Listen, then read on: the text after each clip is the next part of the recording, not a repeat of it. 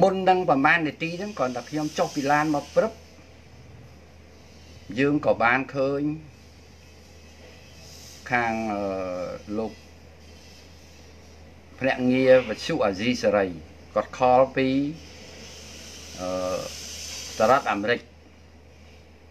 បាទគាត់ខលមកសួរនាំរឿងតាសវណ្ណថាហេតុអីបានជាតាសវណ្ណទៅបាញ់បោះ សេរីណាហើយតាសវណ្ណមានសិទ្ធិអំណាចអីមានតួនាទីអីក្នុងជួររដ្ឋាភិបាល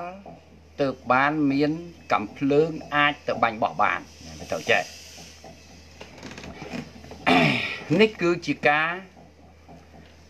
រៀបចំតាំងសំណួរជាលាយលក្ខអក្សរពីភាគីខាងអាស៊ីសេរី ក៏ប៉ុន្តែ នៅក្នុងសំណួរទាំងអស់នោះ នេះសូមបងប្អូនមើលមើលសំណេររបស់របស់គាត់ណាគាត់សរសេរថាលោកហេងរស្មីអាស៊ីសេរី RFA ជំរាបសួរលោកខាន់សវណ្ណខ្ញុំបាទឈ្មោះហេងរស្មីពីវិទ្យុអាស៊ីសេរីលោកខាន់សវណ្ណ កាលពីថ្ងៃទី29ខែកញ្ញាកន្លងទៅត្រូវបានមតកិច្ចកោះហៅមកសន្យា បន្ទាប់ពីលោកបានបាញ់កំភ្លើង3គ្រាប់នៅ ស្រុកកំពង់សេឡាខេត្តព្រះសីហនុអូខេ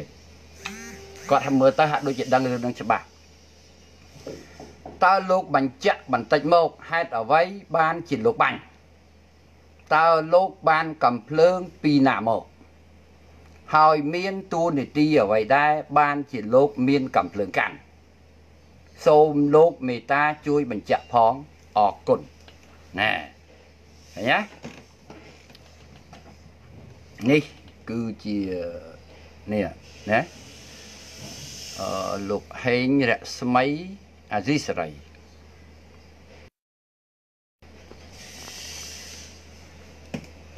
ចង់ជំរាបបងប្អូនថាមុនពេល មុនពេលដែលអាស៊ីបានខលមកខ្ញុំនេះ តាមការពិតប្រភពព័ត៌មាន នៅ ក្នុងប្រទេសយើងនេះ ទាំងនៅក្រៅប្រទេស ទាំងវិទ្យុព្រះអាទិត្យណាគេហៅថា TV សាន់ណាគេក៏បាន លើកយកមកផ្សាយដែរលើកយកមកផ្សាយដែរ ករណីដែលគេថាតាសវណ្ណហ្នឹងពិតជាអ្នកបាញ់កំភ្លើងហ្នឹងមែនរហូតដល់មានអ្នកសារព័ត៌មានមួយចំនួននោះបានសរសេរតេះឌីលមកដល់រូបតាសវណ្ណថាតាសវណ្ណគឺជាចាស់ទំនើបហើយគេស្នើសុំឲ្យសមត្ថកិច្ចចាប់តាសវណ្ណហ្នឹងយកទៅញាត់គុកផងទៅ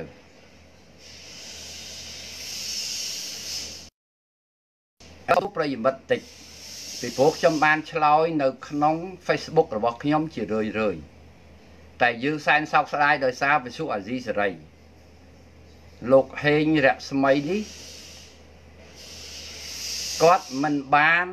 តាមដានមើលเพจផ្លូវការរបស់ខណ្ឌសវណ្ណឬខ្មែរម្ចាស់ស្រុកឲ្យអស់សេចក្តីគេហៅថាអាប់ដេតឲ្យទាន់ពេលវេលាគឺអត់ទេ អញ្ចឹងទើបគាត់តាំងសំណួរមកនេះគេហៅថាសំណួរ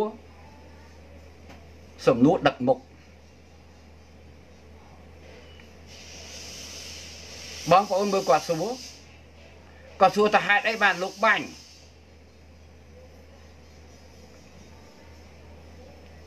ឃើញសំណួរហ្នឹងវាទៅចឹងឯង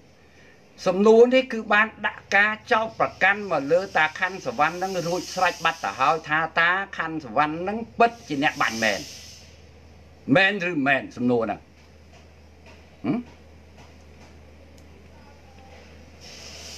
នេះបងប្អូនមើលសំណួរគាត់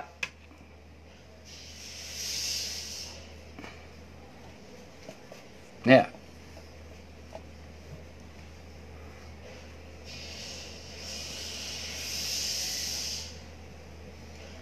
ហេតុអ្វីបានជាលោកបាញ់នេះគឺជាសំណួរមួយ សំណួរហ្នឹងគឺវាផុសចេញពីបេះដូងអ្នកសួរហ្នឹងហើយស្រេចហើយគេកំណត់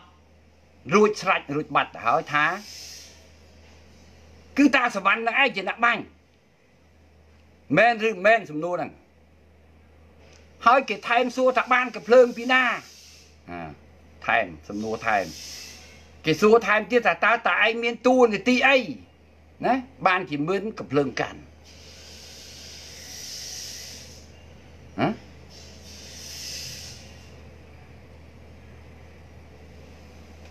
អញ្ចឹងតាសវណ្ណ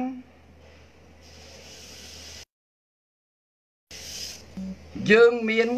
សំឡេងសម្ភាសថតសម្ភាសរវាងវត្ថុអាស៊ី ហើយនឹងខ្ញុំបាទមុននឹងប្រហែលនាទីហ្នឹងបន្តិចទៀតខ្ញុំនឹងចាក់ផ្សាយជូនបងប្អូនខ្ញុំនឹងចាក់ផ្សាយជូនបងប្អូនតែត្រង់ថាវត្ថុអាស៊ីសេរីគេបាននិយាយហើយមិនដឹងគេគេយកទៅជំនុំនេះសិនពីព្រោះអ្វីដែលគេបានគិតទុកសង្ឃឹមញញឹមទុកគឺវាខុសទាំងអស់ខកបំណងហើយអាកូនអាស៊ីសេរីឯងចង់ផ្សាយអញរឹតតអ តែទោះយ៉ាងណាក៏អាស៊ីសេរីវានៅមានព្រៀបមួយវាព្រៀបឈ្នះពីលើពួកវត្តពួកអរិញអ្នកកាសែតជជុះខ្ញុំប្រើពាក្យអ្នកកាសែតជជុះខ្មែរយើងនៅក្នុងស្រុកមួយចំនួនដែលចុះផ្សាយដែលឥតបានសួរហេតុផល បើមិនបានសួរតាសវណ្ណក៏សួរសមត្ថកិច្ចដែលនៅ ឬមួយបើមិនអញ្ចឹងទេសួរចវាយខេតគួចចម្រើនផ្ទាល់តែម្ដងអញ្ចឹងបើយើងប្រៀបធៀបខ្ញុំឃើញថាអាស៊ីសេរីខ្ញុំសុំសរសើរកន្លែងហ្នឹងត្រង់ថាគាត់បានសួរមកយើងគ្រាន់តែថាសុំស្អប់ខ្ពើមនឹងសំណួរសំណួរនេះគឺជាសំណួរដែលសន្និដ្ឋានមុនណាសន្និដ្ឋានមុនរួចបាត់ទៅហើយ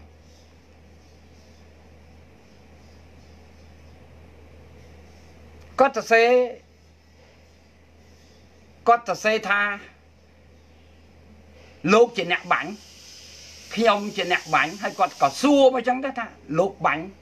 លោកមានឋានៈអីទូនាទីអីអញ្ចឹងខ្ញុំសុំទុកឲ្យឆ្ងល់សិនទុកឲ្យឆ្ងល់សិនតែខ្ញុំសង្ឃឹមថាបងប្អូនមួយចំនួនដូចជាអ្នកទេពជាដើម ឬក៏ប្រិយមិត្តដតីដែលតាមដានខ្ញុំចង់ជំរាបបងប្អូនចេះខ្ញុំអខានមិនបានចេញឡាយសូជាញឹកញាប់ដោយប្រកដីភាពទេដោយសារខ្ញុំរវល់រវល់ធ្វើចំការរវល់ទៅស្ដារទៅរៀបចំវាយកាច់សបុកថ្មីរបស់ខ្ញុំបន្ទាប់ពីផ្ទះនៅភ្នំពេញខ្ញុំចង់ទៅរៀបចំព្រោះវាព្រៃវាពាត់អស់ទៅហើយហើយអាណាមួយឥឡូវនេះលោកកែរតនៈលោកបានផ្ដល់អគិសនី ខ្សែអីតចូលមក4 5គីឡូចូលមកដល់ចកាយើងប្រើទៀតយើងក៏ឆក់ឱកាសនេះទៅកសាងកន្លែងនោះឲ្យវាទៅជារបស់មានប្រយោជន៍ដល់សាធារណជនផងដល់ខ្លួនឯងផងរឿងវាប៉ុណ្ណឹងក៏ប៉ុន្តែខ្ញុំមិនអខានក្នុងការផុសដោយសំណេរខ្លីៗឬមួយក៏អមដោយវីដេអូនៅក្នុងเพจខ្មែរម្ចាស់ស្រុកនិងខណ្ឌសវណ្ណអង្គប្រប្រាទេ មើលឥឡូវបងប្អូនប្រមាណអ្នកដែលកំពុងតែស្ដាប់នេះប្រមាណអ្នកដែលតែងតាមដានការសរសេរផុសខ្លីៗ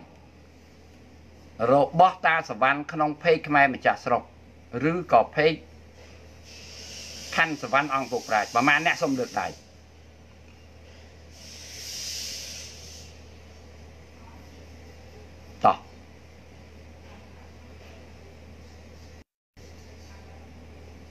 ខ្ញុំឃើញបងប្អូនភាកច្រើនគឺពួកពួកប្រឆាំងទេភាកច្រើនពួកប្រឆាំងទេដែលចូលតែងតាមដានមើលការផុសខ្លីៗរបស់តាសវណ្ណហើយពួកអ្នកស្របគេមិនដែលមើលគេអង្គុយចាំមើលតែ live show ពីព្រោះបើបានមើលដែរដូចលោកព្រំសាវឌីវ៉ាន់គាត់ថាគាត់ធ្លាប់បានមើលបានអាន ណាទឹមទុំហ្នឹងក៏បានមើលណាមើលអ្នកណាខ្លះលើកដៃមើលបានមើលខ្ញុំបានឃើញគេចុច like ចុច share ច្រើនតែអ្នកខ្លះក៏បាន comment អ្នកខ្លះក៏មិនបាន comment ខ្លឹមសារថ្មីថ្មីអាប់ដេតថ្មីថ្មីរបស់តាសវណ្ណទាំងរឿងផ្ទាល់ខ្លួនទាំងរឿងរឿងជាតិរឿងអន្តរជាតិខ្ញុំផុស មួយថ្ងៃមួយថ្ងៃយ៉ាងតិចបំផុតក៏5ទៅ10អត្ថបទហើយបងប្អូនបើបើចង់ដឹងថាតើតាសវណ្ណមានសកម្មភាព Facebook ឬអត់មើលនៅក្នុង page ផ្លូវការរបស់តាសវណ្ណហ្នឹងទៅ គឺ page ខ្មែរម្ចាស់ស្រុកនិងខណ្ឌសវណ្ណអង្គគ្រប់ប្រាជ្ញអរគុណច្រើនឥឡូវមុននឹងឈានចូលដល់បន្តិចទៀតខ្ញុំនឹងចាក់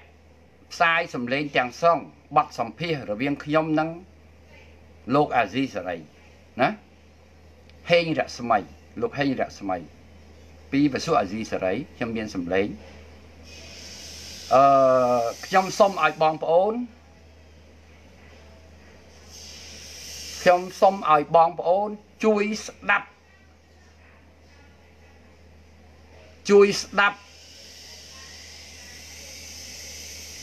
ការពណ៌នាហើយដែលគេតាំងខ្លួនគេជាអ្នកកាសែតឯករាជ្យអព្យាក្រឹត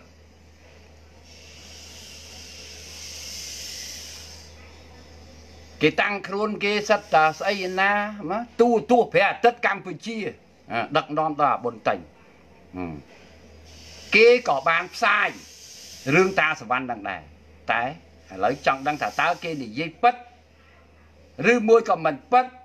វានៅដល់អាមេរិកតែដឹងរឿងរឿងតាសវណ្ណបាញ់កំភ្លើងឬមិនបាញ់នៅស្រុកកំពង់សិលា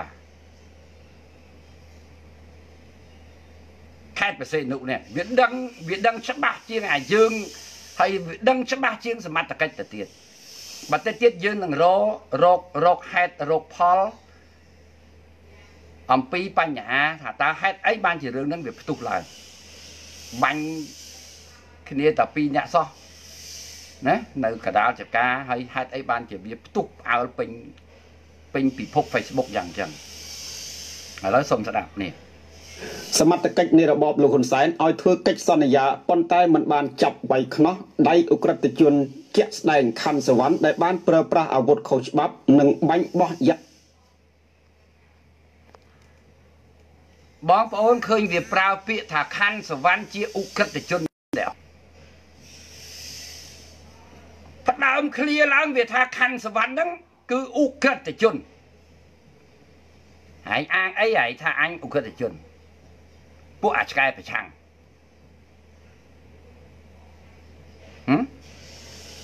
អញបានសម្លាប់មនុស្សហ៎ តឡាការបានកាត់ទោសអញថាអញនឹងគឺជាជនល្មើសអ៊ុកតជន មានតែតឡាការទេណាមិននាលពួកអ្នកលេងកាសែតទាំងឡាយមានតែតឡាការទេដែលអាចកំណត់បានថា តាសវណ្ណនេះជាអ ுக ្រិតជន ឬមួយក៏ជនគ្មានទោសឥឡូវសូមស្ដាប់វាបន្ត អាណាធិបតេយ្យទេជនល្មើសប្រើប្រាស់អាវុធខុសច្បាប់ខណ្ឌសវណ្ណបានបញ្ជាឲ្យបកពួករបស់ខ្លួនបាញ់បោះយ៉ាងអាណាធិបតេយ្យចំនួន3គ្រាប់ក្នុងតើឯងដឹងពីណាថាអញនឹងប្រើប្រាស់មនុស្សរបស់អញឲ្យបាញ់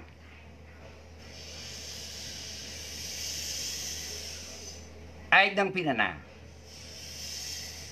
បើឯងជាអ្នកកាសែតឬក៏ជាអ្នកផ្សព្វផ្សាយពិតប្រកបឯងគួរគប្បីខំមកសួរអញសិនឬបើអញ្ចឹងទេឯងត្រូវទៅសួរទៅសួរចវាយស្រុកសួរមេប៉លិសមេពេអឹមស្រុកឬមួយក៏បើអញ្ចឹងទេសួរស្នងការខេត្តប្រសិទ្ធអនុឬសួរចវាយខេត្តសួរឲ្យច្បាស់មើលអញតាសវណ្ណនឹងបាញ់មែនអត់ហ៎ ហើយអាម៉េចបានជាមិនព្រមវាយខ្នោះអាតាសវណ្ណណាអាតាសវណ្ណនឹងអាងអីគេអូខេបញ្ហាធំបំផុតគឺពួកវានេះ វាចង់វាយតម្លៃតាសវណ្ណថាតាសវណ្ណនេះមិនដឹងជាខ្នងប៉ុណ្ណាទេអរគុណអូនដែលឯងចេះខ្លាចខ្លាចអញហ្នឹងថាអញហ្នឹងមានអំណាចសម្ងាត់អ្វីមួយនៅការពីអញដល់ថាអញបាញ់បោះសេរីហើយអត់ជាប់គុកទៀតណា ឥឡូវបងប្អូនស្ដាប់វាបន្តคลิปវីដេអូមួយដែលមហាជនចែកចាយលើបណ្ដាញសង្គម Facebook និងទូរទស្សន៍ព្រះអាទិត្យកម្ពុជា Cambodia Sun TV ទទួលបានដែរនោះបានបញ្ជាក់ថាជនល្មើសខណ្ឌសវណ្ណបានបញ្ជាឲ្យបពពួករបស់ខ្លួនបាញ់បោះយ៉ាងដូចនេះថាសាកមើលក្រឹកឬសោភងបែកភ្លើងព្រាកព្រាកសាកមើលសាកមួយក្របទៀតខណ្ឌសវណ្ណបានបន្តថា ស្ដារកណុងនៅក្នុងចំការតាសវណ្ណ សាកមើលក្រឹកអូមួយទៀតអាមួយទៀតមួយទៀតមួយទៀតដាក់ឲ្យត្រង់មើលសាខ្ញុំថយចាអាសាក់មើលប្រាកណ្ដុងក្នុងចកាតាសវណ្ណអំពើបាញ់បោះ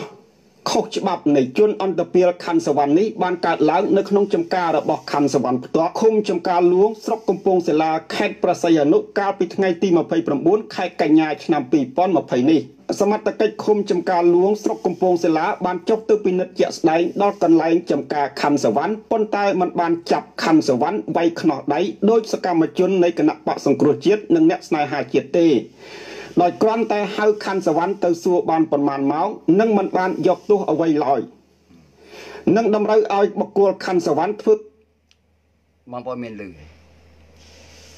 នេះគឺវាតកតងទៅនឹងរឿងនយោបាយវាចង់អូសរឿងតាសវណ្ណនេះឲ្យទៅប្រៀបធៀបជាមួយនឹងសកម្មជនរបស់ឯងគឺវាខុសរឿងអាកូន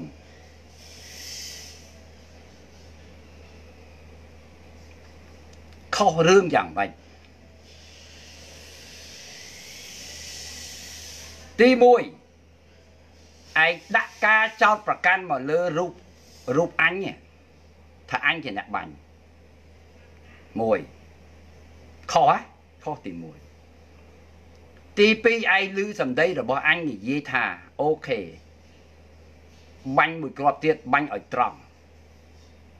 តើនោះគឺជាបញ្ជា របស់អញក៏ភ្លើងនោះជារបស់អញនោះវារឹតតែមិនមែនក្នុងនាមយើងជាម្ចាស់ដីបងប្អូន ពេលនោះភ្ញៀវគាត់ដកកំភ្លើង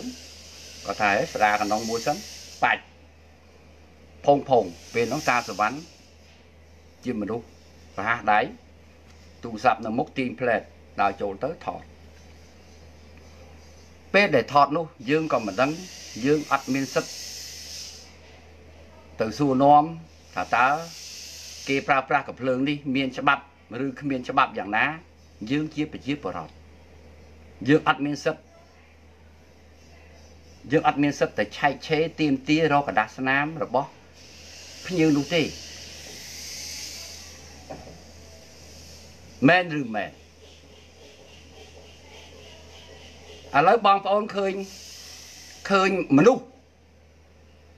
ឃើញមនុស្សខ្ញុំឧបមាណាអឺឃើញមនុស្សថាមិនបាច់ដល់បាញ់បោះទេត្រឹមតែសៀតកភ្លើងហើយយើងឃើញអញ្ចឹងហើយសួរថាយើងជាប្រជាពលរដ្ឋធម្មតាតើយើងមានសិទ្ធិទៅសុំឆែករកលិខិតស្នាមរបស់កភ្លើងនោះបានដែរទេមើលបងប្អូន វាអត់មានត្រូវរឿងព្រោះខ្ញុំមិនមែនសមត្ថកិច្ចខ្ញុំមិនមែនជាអ្នកត្រួតអាវុធជាតិផ្ទុះអីណា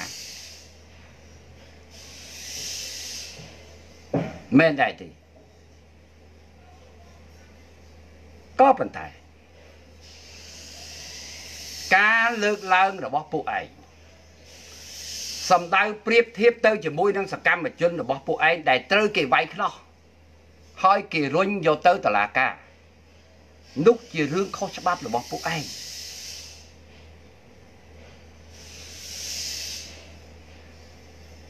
ឯតាសវណ្ណអត់បានខុសច្បាប់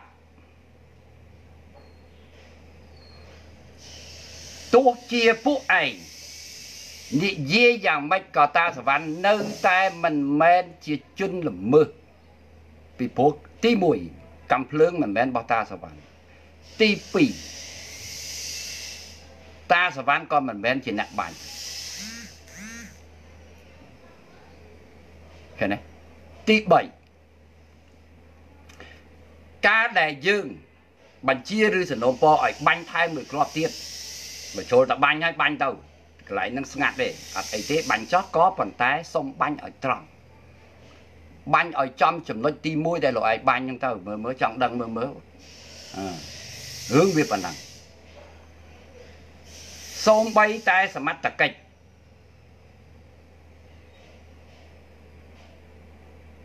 សួរថាដឹងរឿងហ្នឹងពីណា មានអ្នកណាដឹងឆ្លើយកំភ្លើងបាញ់កណ្ដាលព្រៃមានគ្នាតែពីរអ្នកគត់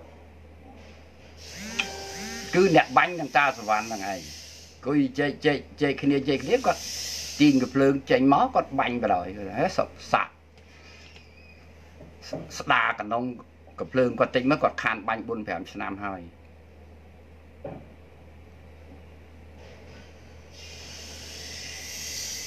ឥឡូវយើងសួរ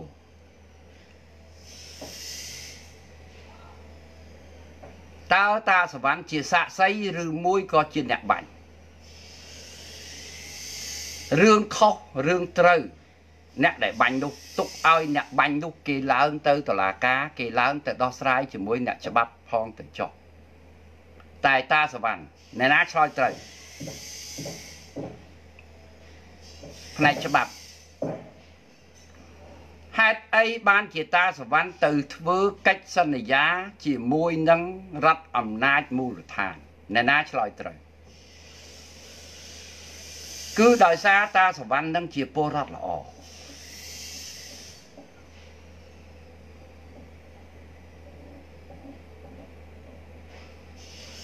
ខ្ញុំគ្រាន់តែជាសាក់សីដែលបានឃើញការបំផ្ទុះអាវុធនោះពិតប្រកបមែនគេពីដំបងឡើយគេសំបីតែសមត្ថកិច្ចក៏ក៏ដាក់ក៏ដាក់ក៏ដាក់ការសង្ស័យថាប្រកាសជាតាសវណ្ណបាញ់ឬក៏ប្រកាសជាកំភ្លើងហ្នឹងគឺតាសវណ្ណលួចលាក់ទិញលួចលាក់យកទៅទុកប្រើប្រាស់ការពារខ្លួននៅកណ្ដាលព្រៃ ពីព្រោះគេឃើញតាសវណ្ណដេកកណ្ដាលព្រៃអត់ចេះខ្លាចអាណាមែនតាសវណ្ណដេកកដាព្រៃរាល់ថ្ងៃអត់មានកំភ្លើងសម្រាប់ការពារខ្លួនទេអាកូនតែតាសវណ្ណជឿជាក់នៅលើសុខសន្តិភាពនេះជឿជាក់នៅលើមនសិការរបស់ខ្លួនជឿជាក់នៅលើគោលចំហរបស់ខ្លួនថាអញអត់ខ្លាចព្រោះសម័យព្រោះតាសវណ្ណអត់មានទៅធ្វើបាបអាណាផងតាសវណ្ណមានអាវុធមួយដើមគត់ គឺបបោមាត់បបោមាត់របស់អញនេះគឺវាយប្រហារឧបាយកលខ្មៅកកិច្ចរបស់ពួកឯងឯងយល់ដែរទេមនាលពួកខ្មែរប្រឆាំងចឹងហើយទើបពួកឯងមិនសប្បាយចិត្តរីឯពួកអ្នកដែលស្របអ្នកដែលដែល ខ្ញុំប្រើពាក្យអ្នកស្របនិងអ្នកប្រឆាំងពួកអ្នកស្របមួយចំនួនក៏គេបន់ឲ្យតាសវណ្ណជាប់គុកដែរអានោះជារឿងរបស់អាកូនឯងជារឿងរបស់ក្រុមពួកឯងតែឯងកុំសង្ឃឹមអសោះតាសវណ្ណនេះមិនងាយធ្វើខុសច្បាប់ឡើយពីព្រោះតាសវណ្ណនេះក៏ជាមន្ត្រីយុត្តិធម៌ដែរប្រយ័ត្នខ្លួនឯងជាមន្ត្រីយុត្តិធម៌ហើយ សាងនៅអ្វីដែលវាមិនគប្បីនឹងច្បាប់ហើយនឹងក្រមសីលធម៌ដូចជារូបភាពនេះរូបភាពនេះ គឺជារូបភាព ដែលក្រមសមត្ថកិច្ចជាអ្នកថតផ្ទាល់នៅក្នុងទូរស័ព្ទរបស់តាសវណ្ណគ្មានទេក៏ប៉ុន្តែបែរជាឃើញនៅពេញ Facebook តើរូបភាពនេះធ្លាយចេញពីណាណា រួមទាំងកិច្ចសន្យាកិច្ចសន្យារបស់តាសវណ្ណហើយនឹងសមត្ថកិច្ចក៏ត្រូវបានក្រមសមត្ថកិច្ចទាំងអស់នោះបង្ហោះចេញខ្ញុំគិតថាក្មួយក្មួយធ្វើនេះហួសហេតុពេកហើយហួសហេតុពេកហើយវាប៉ះពាល់ដល់សិទ្ធិបុគ្គល អានេះនិយាយសមត្ថកិច្ចខាងស្រុកកំពង់សាឡាខ្ញុំមិនដឹងខាងប៉ូលីស PM ឬមួយក៏ចវាយស្រុកឬមួយក៏ចវាយខេត្តអ្នកអនុញ្ញាតឲ្យផុសខ្ញុំអត់ដឹងទេក៏ប៉ុន្តែរូបភាពទាំងអស់នេះ គឺក្រុមសមត្ថកិច្ចជាអ្នកថតហើយយកទៅផុសនៅក្នុង account របស់ខ្លួនដើម្បីបាន like បាន share បានការចាប់អារម្មណ៍ពីអ្នកកសែត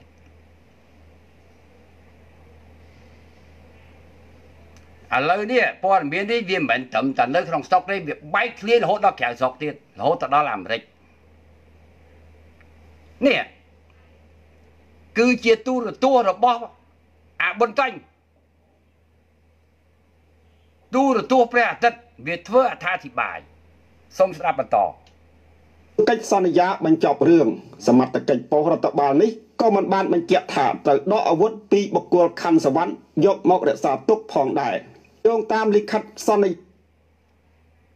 ដកម៉ែយ៉ាងណាបើថាសវណ្ណអត់មានកំភ្លើងផងដែរដកស្អី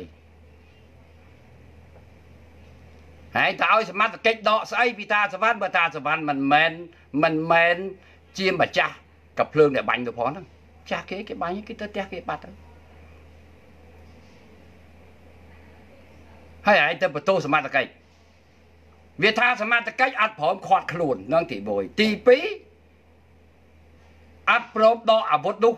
យកមករក្សាទុកអីដកយកស្អីទៅដកឯងទៅដកនៅកន្លែងតែជាពីមកសួរអត់មានផង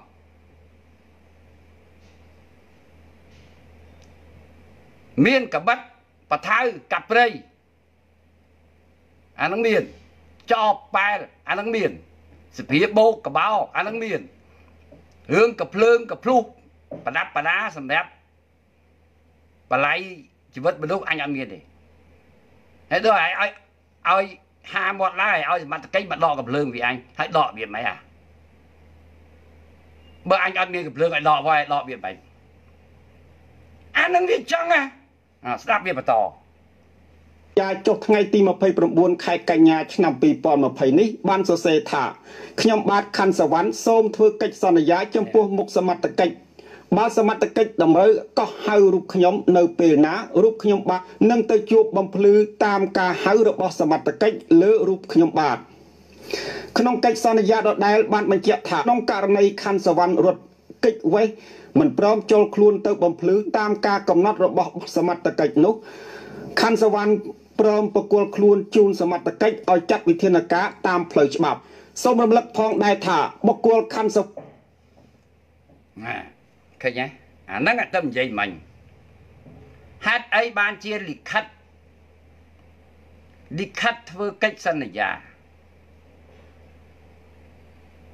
សូមជំរាបពួកអស់លោកបងប្អូនជនរួមជាតិឲ្យបានជ្រាបថាលិខិតនោះមិនមែនជាលិខិតដែលក្នុងនាមខ្ញុំជាម្ចាស់កំភ្លើងជាអ្នកបាញ់ឲ្យទៅធ្វើវាអត់ដែល វាអត់មានថាយើងអ្នកបាញ់ហើយទៅធ្វើកិច្ចសន្យាហើយគេឲ្យយើងទៅផ្ទះអត់ទេបត់ល្មើសជាក់ស្ដែងគេវាយខ្នោះបាត់ហើយកូន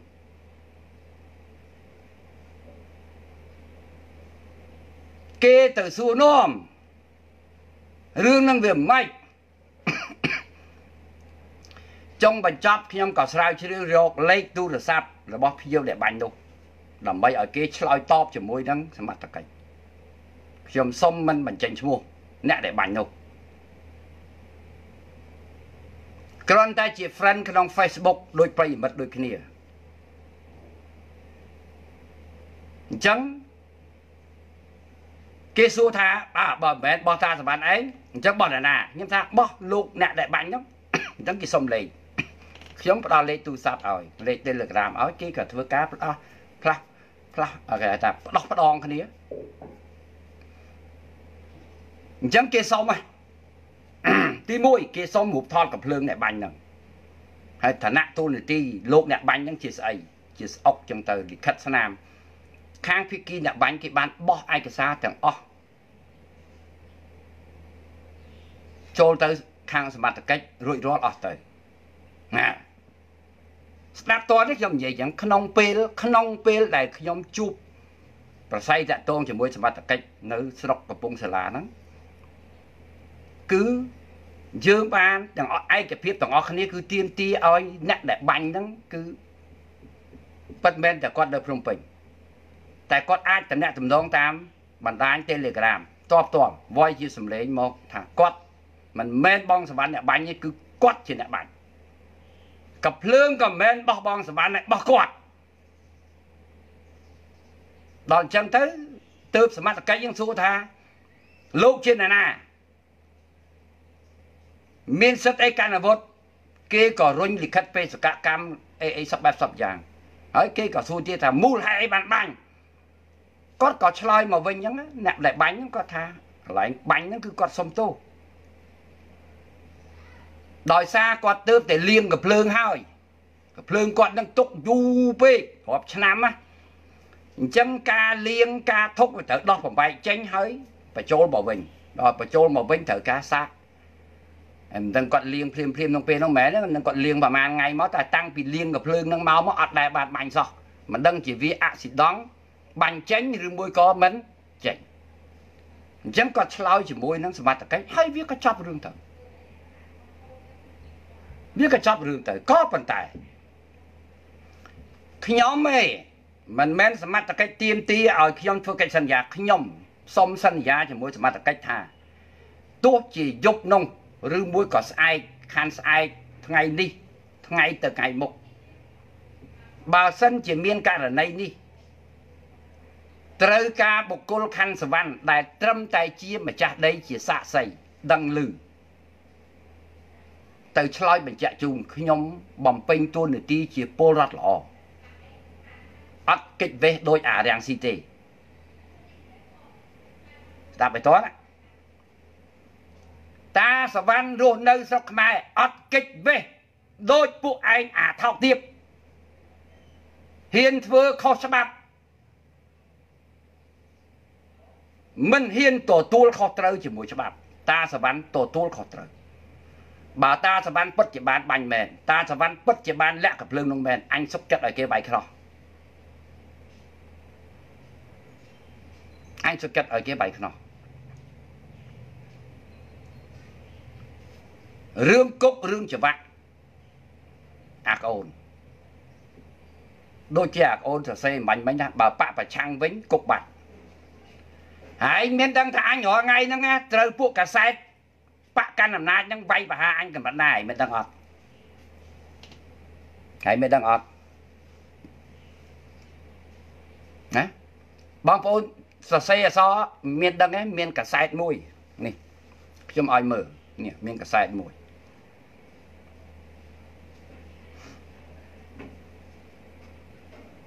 រហូតដល់អាឆាំឆានីផ្អើលដល់អាឆាំឆានីបាទអាឆាំឆានីនេះអាឆាំឆានីគេសេចេះបងប្អូនបើអាឆាំឆានីវាសេនេះវាសេតែមកអាឆាំឆានីនេះឆាំឆានីវាសរសេរណាអសិលរៀបខណ្ឌសវណ្ណជាប់បង្ហាញខ្លួនធ្វើកិច្ចសន្យានៅប៉ុស្តិ៍ប៉ូលីសចឹងបានជាខកខានអត់ឃើញចូលមកជេរឆាំឆានីអោអាឆានី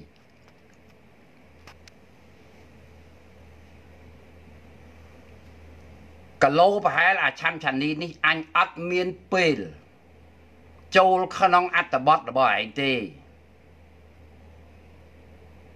រាប់ឆ្នាំមកហើយណាកូនឯងគីឡូឯងស្រាលពេកណាស់អាឆាំឆានីបាទអានឹងសត្រូវរបស់ហ៊ុនម៉ាណែតណាអានឹងហើយជាអ្នកអុចអាលនិយាយពីរឿងដែលថាអឺ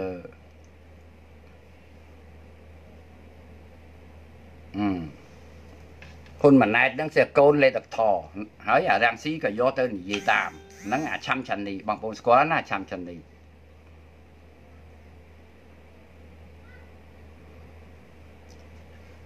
KBN New នេះបងប្អូន KBN New នេះមើលខ្ញុំអូសមកក្រោមបន្តិចបងប្អូនឃើញទេ KBN New ពីដំបង ពីដំបងគាត់សរសេរសាហាវអ្នកកសែតកសែតហ្នឹងមិនដឹងជានិពន្ធនយោបាយរបស់លោកណាទេបងប្អូនណាស្គាល់ដឹងសូមជួយសរសេរឈ្មោះនិពន្ធនាយកនឹងផងខ្ញុំអត់បាន ដឹងថាតើចាងវាងកាសែត KBN News នឹងជាណានាតែគាត់ដឹងថា ជារបស់ខ្មែរយើងនៅក្នុងស្រុកទេ ពីដំបូងគាត់ចោះថាតាសវណ្ណនឹងគឺជា អ្នកបាញ់បោះជាចាស់ទំនើងហើយយល់ដែរទេជាចាស់ទំនើងតែតាសវណ្ណបាន ប្រើប្រាស់ក្នុងនាមសិទ្ធិបុគ្គលខ្ញុំបានបង្ហោះមានបងប្អូនណាបានឃើញខ្ញុំបង្ហោះអត់ខ្ញុំ share link share link របស់អ្នកកសែតនោះភ្លាមថាបើឯងមិនព្រមធ្វើការសុំទោសឬកែតម្រូវខ្ញុំនឹងប្តឹងឯងពីបទបរាគេចង់បញ្ចប់បងប្អូនឃើញអត់នេះគេសរសេរថាម៉េចនេះគឺជាការផុសលើកទី2គេសរសេរថា KBN សូមកែតម្រូវតាមពិតលោកតាខណ្ឌសវណ្ណមិនមែនជាអ្នកបាញ់ទេ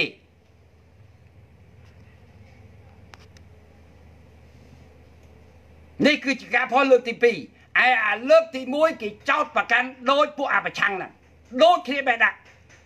ដូចគ្នាហាបានឃើញគ្រាន់តែជួយខមមិនថាបានឃើញ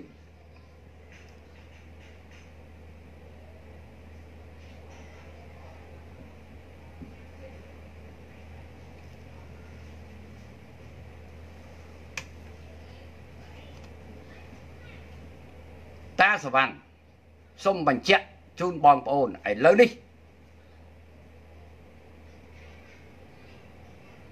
ខ្ញុំមានសិទ្ធិចាក់ផ្សាយជូននៅបទសម្ភាសរវាងខ្ញុំបាទនិងអាស៊ីសេរីដើម្បីចែកជូនដល់បងប្អូនបានស្ដាប់ទាំងអស់គ្នាណានេះសូមស្ដាប់ មួយចុះផ្សាយថាលោកបានប្រើប្រាស់អាវុធខ្លីបាញ់ឡើងទៅលើនៅខាងខាងពិសេសនោះកាលពីថ្ងៃ29ហ្នឹងលោកអាចបញ្យល់តិចបានទេតែតើលោកបានបាញ់មែនឬយ៉ាងម៉េចទេទៀតអត់ផងបាទមិនមែនខ្ញុំអ្នកបាញ់ផងខ្ញុំអត់មានកភ្លើងផងខ្ញុំជាមន្ត្រីចូលនិវត្តអត់មានផងកភ្លើងខ្ញុំគឺបានបកគលជូនរដ្ឋតាំងពី ឆ្នាំ2012ទៅ3ពេលខ្ញុំចូលនិវត្តនោះមែនព្រោះថ្ងៃនោះអត់មានកភ្លើងផងលោកបាទចាឃើញរបាយការណ៍កំណត់ហេតុលោកចុះកិច្ចសន្យាថានឹងជាមួយសមាជិកកិច្ចនោះយ៉ាងម៉េចវិញហ្នឹងកិច្ចសន្យាអីគេទៀតអូខេលោកបានអានកិច្ចសន្យាហ្នឹងទេខ្ញុំឃើញកិច្ចសន្យាហ្នឹងទៀតថាលោកនឹងបង្ហាញខ្លួនគ្រប់ ពេលកោះហៅបោះសម្បត្តិកិច្ចហ្នឹងបាទតើកិច្ចសន្យាហ្នឹងពាក់ព័ន្ធឬទេពាក់ព័ន្ធរឿងយើងជាម្ចាស់ដី ជាសាក់សីអូនបាទបាទអាហ្នឹងពេលណាបើសិនជាមានការអ្វីដែលសមត្ថកិច្ចលោកមានការមិនច្បាស់លាស់ពេលយើងបំភ្លឺចឹងហើយហើយលោកនៅឆ្ងល់រឿងអីផ្សេងទៀតអាហ្នឹងយើងនឹងចូលខ្លួនទៅបំភ្លឺបំពេញថែមបាទ ហ្នឹងកិច្ចសន្យាហ្នឹងគេគេសរសេរអញ្ចឹងមែនទេកិច្ចសន្យាម្ចាស់ដីហ្នឹងខ្ញុំជាម្ចាស់ដីខ្ញុំជាម្ចាស់បាទបាទបាទមិនមែនម្ចាស់កំភ្លើងទេអឺចាហេតុអីបានជាពាក់ព័ន្ធយ៉ាងម៉េចបានសម្បត្តិកិច្ចហៅលោកទៅចុះកិច្ចសន្យាពាក់ព័ន្ធនឹងដីវិញទៀតមិនមែនរឿងដីទេអូនខ្ញុំជាម្ចាស់ទីតាំងដែលគេបាញ់ហ្នឹងយល់ទេអញ្ចឹងយើងជាសាក្សីដែលបានដឹងឮបងយល់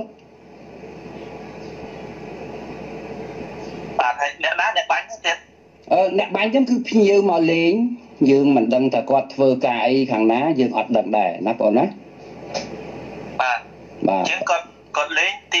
ទៅចំការដីរបស់លោកហ្នឹងហើយយើងក៏បានបាញ់តែម្ដងទៀតណាបាទបាទបាទបាទដោយសារគាត់បានលេសថាទី1វាស្ងាត់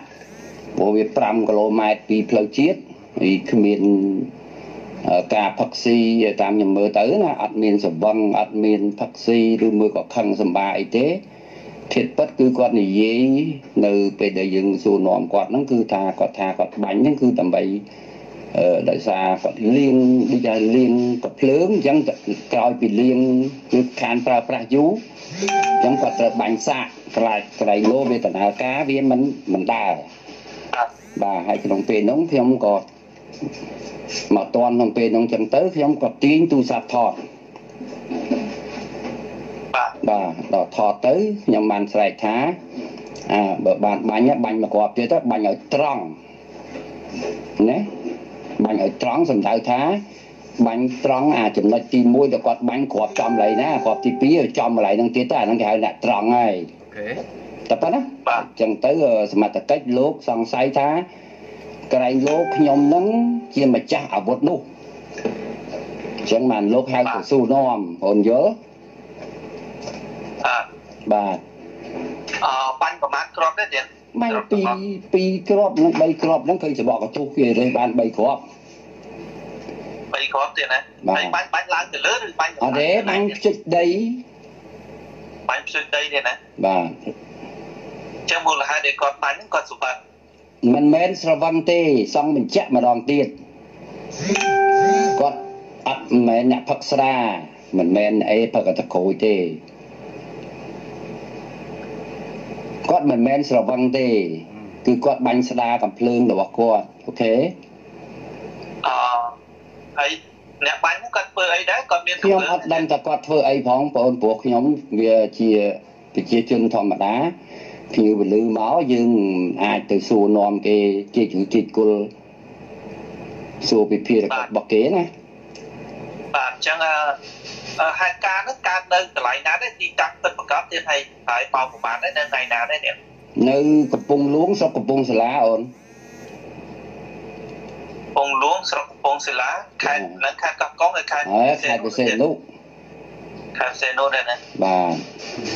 ហើយលើមកប្រហែលដែរកើតហេតុហើយនៅថ្ងៃណាដែរទៀតបើថ្ងៃដែលបងបាននិយាយខាងដើមអញ្ចឹងថ្ងៃ29ថ្ងៃដែរទៀត29ហ្នឹងបាទហើយមកប្រហែលដែរទៀតម៉ោងថ្ងៃត្រង់ថ្ងៃត្រង់បាទថ្ងៃត្រចាង់ពេលបាញ់11ហេតុអីបានហ្នឹងបានជាលោកទៅទាន់តែពេលបដិទិការនឹងបាញ់ហ្នឹងចុះខ្ញុំនៅថាក្បែរក្បែរនឹងដែរតា បាទវ៉ៃហ្នឹងហើយតែបាទអឺដល់ពេលលឺបាញ់ចឹងទៅយើងក៏ទៅហាស់ដៃទាញទូរស័ព្ទថតអបាទបាទទៀតហើយបើសិនអញ្ជាចឹងមហាជនគេសង្ស័យថាលោកតែបាញ់ហ្នឹងតែមិនមែនលោកទេហ្នឹងបើខ្ញុំអ្នកបាញ់ខ្ញុំធ្វើមិនបានកាន់ទូរស័ព្ទថតបាទបាទបាទដៃណាបាញ់ដៃណាថតបាទបាទបាទហើយស្ថានភាពខ្ញុំឈរថតហ្នឹងឈរថតពីក្រោយខ្នងភៀវហ្នឹងទេមិនឃើញមុខភៀវហ្នឹងបាទ អញ្ចឹងអឺលោកខាន់សវណ្ណអឺខ្ញុំអរគុណច្រើនដែលបានអឺអត្ថាធិប្បាយបំភ្លឺជាមួយវិទ្យុអាស៊ីសេរីប៉ុន្តែអឺខ្ញុំនឹងពិភាក្សាគ្នាសិនថាតើអឺអត្ថបទហ្នឹងគួរតែសរសេរបានឬមិនបានហើយចាំអឺជំរាបលោកតាមក្រោយទៀតណាលោកណាបាទខ្ញុំមិនហាមឃាត់ទេគ្រាន់ថាសូមសរសេរដោយវិជ្ជាជីវៈណាស់លោកបងណាបាទ ពីព្រោះលោកប្អូនក៏ខាសូមសូមសិទ្ធិលោកប្អូនថាក្រុមសិលធម៌វិជ្ជាជីវៈណាទេណាបាទត្រឹមត្រូវហើយបាទព្រោះសូមសិទ្ធិលោកប្អូនថាអ្វីដែលលោកប្អូនកំពុងនិយាយមួយខ្ញុំគឺខ្ញុំថត់រួចរាល់អស់ហើយបាទ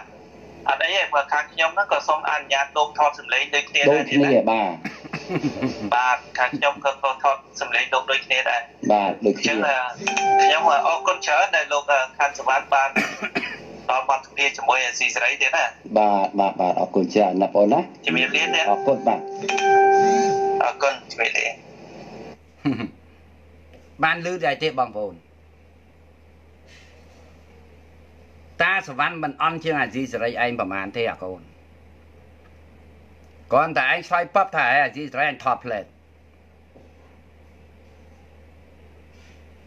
រៀបចំថតផ្លឹក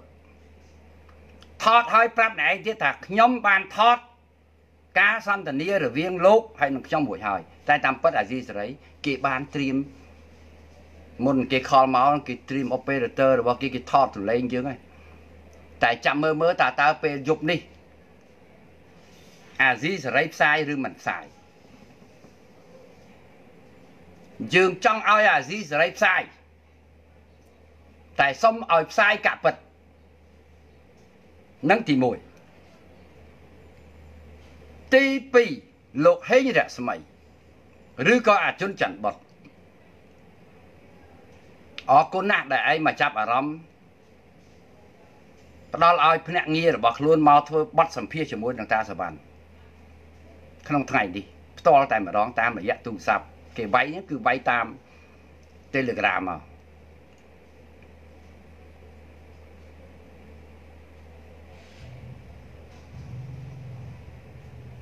បើសិនជារឿងដែលតាសវណ្ណធ្វើអ្វីដែលល្អល្អអាស៊ីសេរីវាខ្ពើមវាខ្ពើមមកជ្រលក់មាត់មួយតាសវណ្ណពីព្រោះតាសវណ្ណហ្នឹងឯងគឺជាប្រនងដ៏ធំវាយសំពងបំបែកបំបាក់ពួកអប្រឆាំងពួកពួកឯងវាបងបែកបាក់ស្រាប់មានតែក្បាលអញទេ ដែលជាអ្នកផ្ដន់ទាតាមតាមធ្វើបាបពួកអាស៊ីសេរី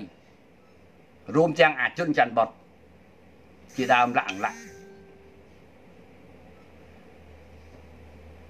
តែយើងសង្ឃឹមថាឯងនឹងចាក់យកសម្លេងសម្ភាររបស់យើងនេះយកតែចាក់នៅក្នុងអាស៊ីសេរីរបស់ឯងយប់នេះបើឯងក្លាហានហើយអញក៏សូមអរគុណដែរ ហើយយើងទាំងអស់គ្នារងចាំមើលតាតើអាស៊ីសេរីវាហ៊ានយកសម្លេងបាត់សម្ភារទាំងស្រុងរបស់តាសវណ្ណដែលយើងចាក់ផ្សាយបាញ់មិញនេះយកទៅផ្សាយជូនមតិមហាជនបានស្ដាប់បានយល់ដែរឬទេ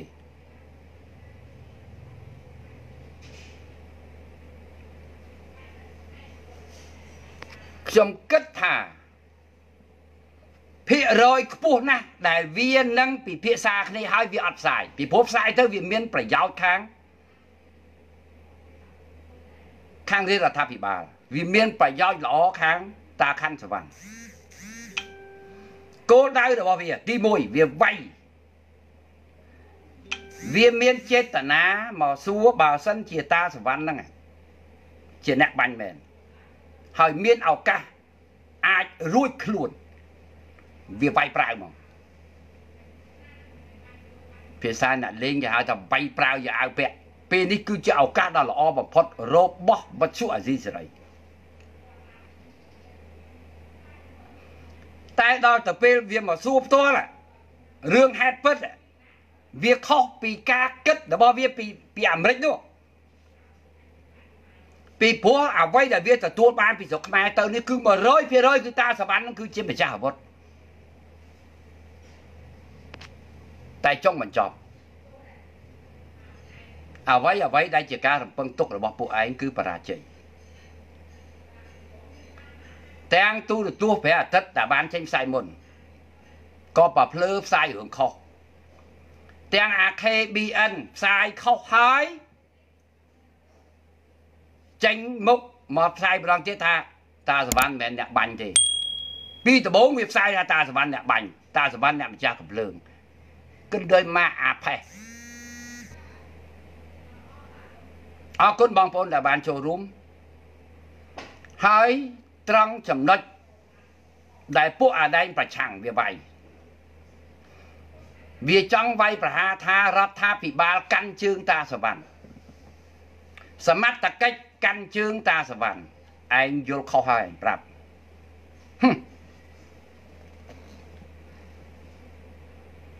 យល់ខុសស្រឡះសមត្ថកិច្ចកំពុងសាលាគឺឯករាជ្យឯករាជ្យកន្លែងណាឯករាជ្យត្រង់ថាគេមកហៅអញ្ជើញតាសវណ្ណ2ដងខ្ញុំប្រាប់បងប្អូន2ដង ពេលថ្ងៃមករងស្រុកដឹកនាំក្រុមគណៈកម្មការចម្រុះមានយោធិមានអរិញ PM ហើយនិងប៉ូលីសពេលថ្ងៃភ្លាមភ្លាមហ្នឹង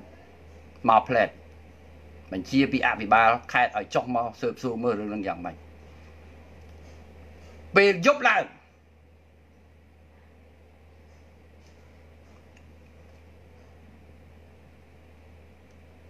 ក្រមសមត្ថកិច្ចដើម្បីបញ្ជាក់ការពិតលោកអភិបាលខេត្តកំពង់សោមបានបញ្ជាមកច្បាយស្រុកចុះមកផ្ទាល់ឲ្យនាំខ្លួនតាសវណ្ណហ្នឹងទៅប៉ុស្តិ៍ទៅបញ្ជាក់បន្ថែមឲ្យច្បាស់ បើមិនច្បាស់បាយខ្នោះបាទពីព្រោះថាសំបីតែលោកអភិបាលខេត្តក្រុងព្រះសីហនុនឹងក៏សង្ស័យថាកំភ្លើងហ្នឹងគឺកំភ្លើងរបស់តាសវណ្ណប្រើឲ្យអ្នកដតីឬក៏ប្រើឲ្យកូនចៅបាញ់តែដល់ពេលអ្នកសម័យខ្លួនអ្នកដែលបាញ់នោះបានបង្ហាញអំពីអត្តសញ្ញាណរបស់គាត់គាត់សុំទោសសុំបីនោះជារឿងរបស់គាត់ ទោះហើយគេក៏ដឹងការពិតថាអូមិនមែនរឿងរបស់តាសវណ្ណទេលោកចេះវាចប់រឿងទៅរឿងវានៅប៉ុណ្ណឹងឯងយល់ទេបើក្បាលតាសវណ្ណនេះជាម្ចាស់កំភ្លើងនោះទោះជាមិនបានបាញ់តែផ្ទាល់ដៃក៏តាសវណ្ណមានទោសដែរ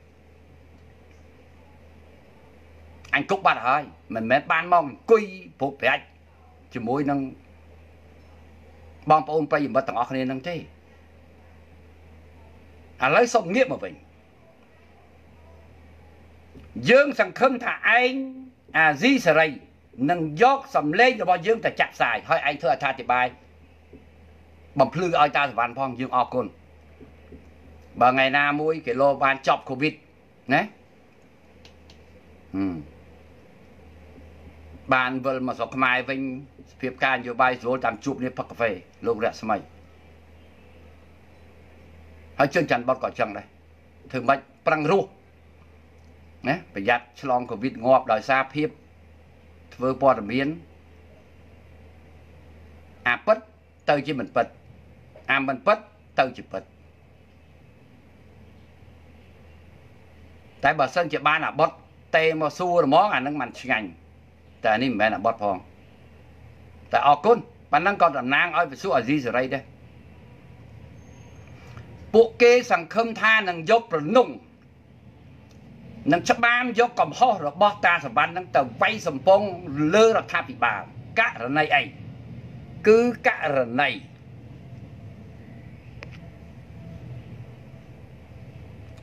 ករណីរឿងការចាប់ចងសកម្មជនប្រឆាំង អញប្រាប់ពួកឯងច្បាស់នៅមានបន្តទៀតថ្ងៃអាទិត្យនេះពួកឯងជួបជុំគ្នានៅកន្លែងណាកន្លែងណាអញដឹងមុនទៀតអាជីសេរីបើអត់ដឹងទេអញដឹងពួកឯងនាំនេះដាំដាំឈើកន្លែងណាអញដឹងហើយចេញទៅនៅវត្តហ្នឹងថ្ងៃអាទិត្យម៉ោង9ព្រឹកហើយជួបជុំគ្នាវាយខ្នោះហើយទាំងអស់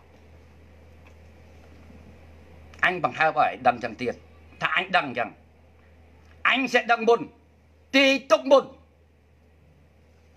ហើយពួកឯងវាយខ្នោះឯងកុំកុំថាខ្ញុំដាំដាំឈើតាអត់ទេអត់ទេឯងដាំដើមឈើ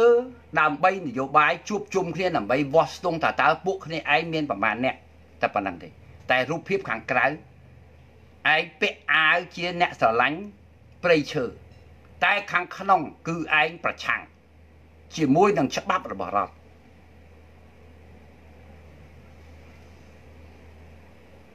ឯងចាំមើលទៅតែអញសង្ឃឹមថាពួកឯងនឹងរំសាយមិនហ៊ានធ្វើការជួបជុំគ្នាទេអញក៏ប្រាប់សំណាញ់ច្បាប់នៅស្រុកខ្មែរវាមិនមែនជារឿងធម្មតាទេ